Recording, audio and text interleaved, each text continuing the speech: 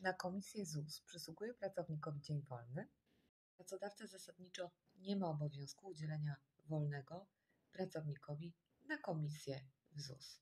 Czy pracodawca udzieli takiego wolnego pracownikowi, zależy tak naprawdę tylko i wyłącznie od jego dobrej woli.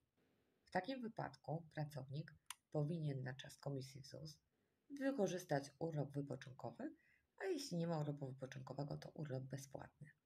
W zakresie profilaktyki zdrowia pracodawca ma obowiązek udzielenia wolnego na czas badań pracowniczych lub na czas szczepień.